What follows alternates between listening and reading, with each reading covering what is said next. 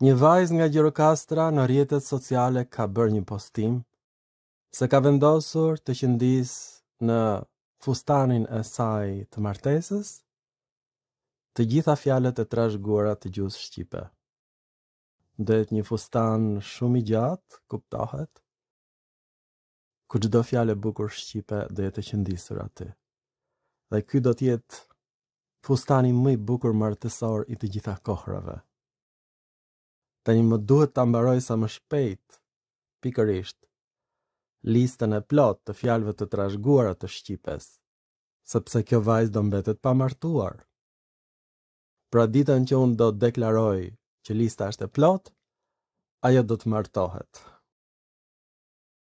ta ndihmojmë këtë vajzë të dashur shqiptarë dhe të bindemi cilat fjalë janë të trashëguara, cilat jo. Një nga fjalët më të bukura të gjuhës shqipe është fjala tres.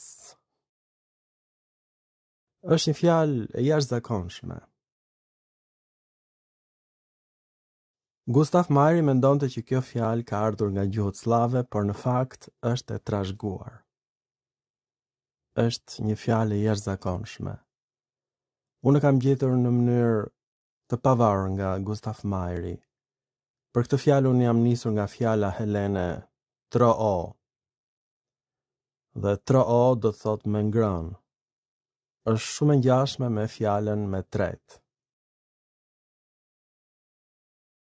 Tani do ua tregoj në monitor sepse Gustav Majeri e ka bërë këtë zbulim përpara se të lindte Eqrem Çabej, përpara se të lindte Kolec Topalli, përpara se të lindja unë.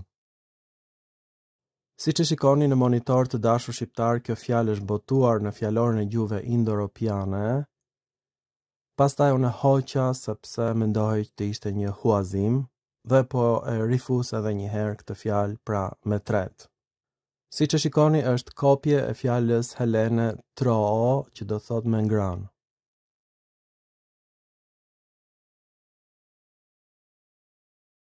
Tani forma e shkurtuar gjendet në gjuhët sllave, Trëjo dhe Trëti.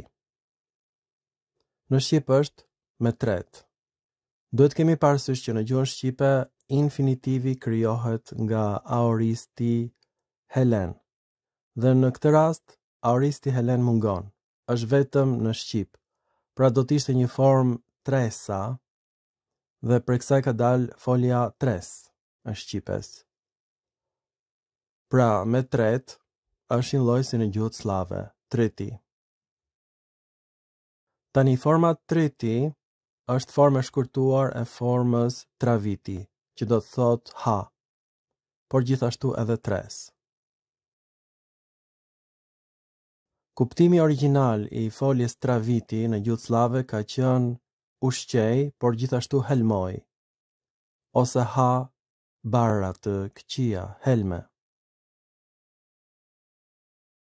Pra, kjo gjendet në gjuhën bjelloruse, traviç, në gjuhën ruse, traviç, në ukrainian, traviti, gjendet në gjuhën kishtare sllave, Gjendet në gjuhën serbe, Traviti.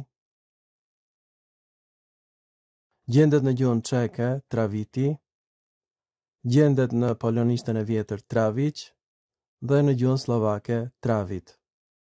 Pra forma e shqipes Tres duhet të vinte nga një aorist që nuk ekziston në gjuhën helene. Ekziston vetëm në shqip. Tani këtë zbulim e ka bërë përpara meje Gustav Meyer. Siç e shikoni, është varianti tret dhe tres dhe ai e krahason me gjuhët sllave, siç e shikoni.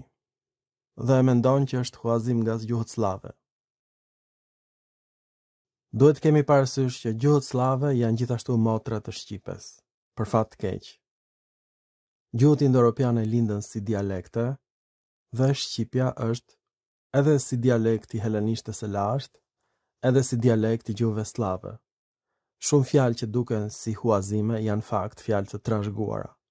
Këtu bën pjesë edhe fjala tret e shqipes. Tani, vajza e bukur gjirokastrite mund ta shtojë këtë fjalë në fustanin e saj të bukur, Fustani i saj do të bëhet më i gjatë, por ajo duhet të presë edhe pak sa të dalë lista e plotë e fjalëve të gjuhës shqipe. Ju faleminderit shumë të dashur shqiptarë dhe mirupafshim në filma të tjerë shkencorë.